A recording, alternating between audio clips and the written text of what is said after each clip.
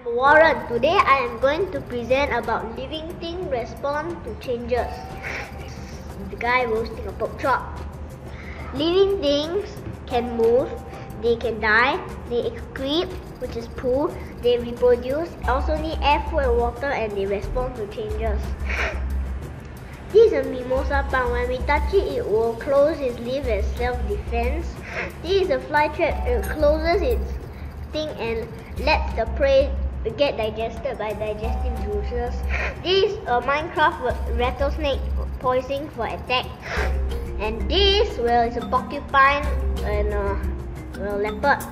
Porcupine rustles its spines and and that makes a rattling sound and also produces an odor when it raises its spine. This will try. He will try to use this as an to ward off the attacker. To demonstrate that plants respond to changes, we have two cups covered and then we have two holes, one on the top, one on the side. And then they will grow they will go through both holes to reach sunlight. You see that? Then we also respond to changes in our environment. When people bind their feet, they do not grow properly. The long neck people use metal rings to make their necks grow long. Oh my god, that's ah, ugly. The end, buddies.